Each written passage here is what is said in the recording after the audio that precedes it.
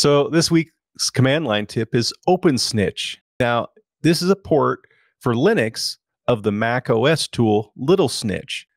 Basically, it's a, a firewall which reports back network requests from applications. So then a user can create rules to block the request if needed.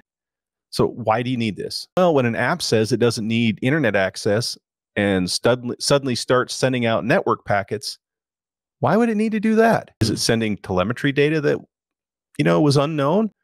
You know, it's not supposed to send telemetry, but it is. Is it nefarious software? And did somebody get into something and what you got isn't what you think you have? Or is it just simply maybe checking for an update? I mean, there can be legitimate reasons and there can be bad reasons.